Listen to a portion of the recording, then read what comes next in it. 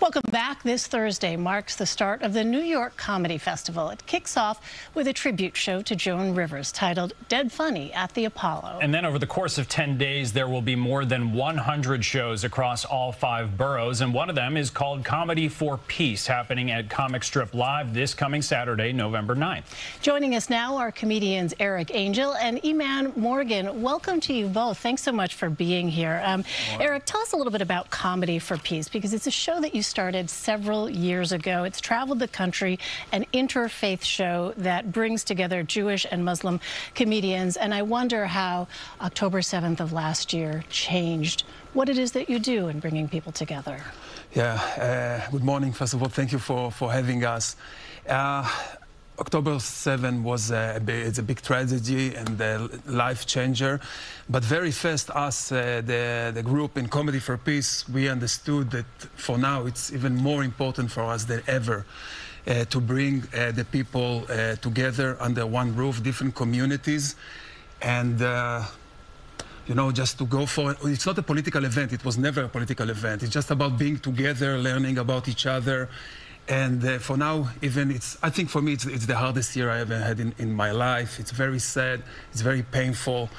Uh, and, uh, you know, we're just getting together for one hour, two hours, and having fun and showing everyone how easy it's to do. Eman, I want to ask because I could see sort of uh, you answering it one of two ways.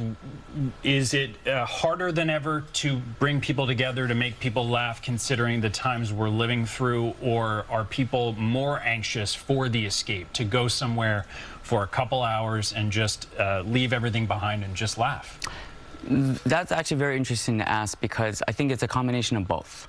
You get them to come but at the same time they're also at ease because or they're anxious because you don't they don't know what the material is going to come out of the comedians. So they're sitting there and it's difficult times and they're wondering is this really going to be you know what we paid for to see? Are we going to have a good time? Or are they going to touch on what they're you know showing in the media and what we're kind of grieving right now me personally i like to make it a commitment to any show, it's like a moral obligation. For those two hours, I really want to remove their minds and their thoughts from the negativity that they see outside.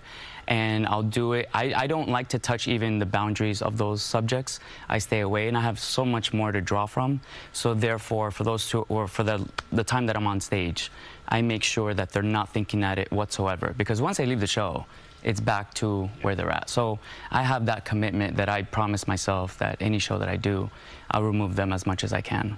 Uh, Eric, let me ask you, tickets are $20. A portion of those profits go to the Parents Circle, which helps uh, Palestinian and Israeli families who've lost loved ones. Tell us why you chose that organization. Comedy for Peace is uh, collaborating with uh, this uh, uh, organization, the Parents Circle, for a few years now. For me, it's a beautiful cause. It's families that lost unfortunately something, uh, some family member to this uh, never-ending uh, tragedy, and they saying Israelis and the Palestinians, they say enough. There is a different way. Uh, we can talk about the things. We can solve it. We don't have to be violent. And we are collaborating with them for a few years now, and we're going to continue to do it.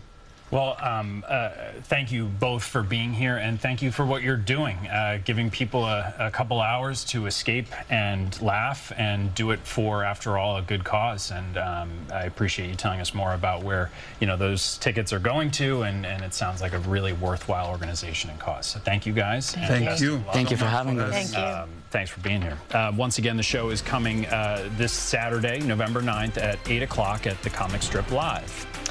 And when we come back, we will check in one more time with Zinnia Maldonado at the starting line of the New York City Marathon. She's speaking with a member of Fred's team, the person who kept her focused on her goal.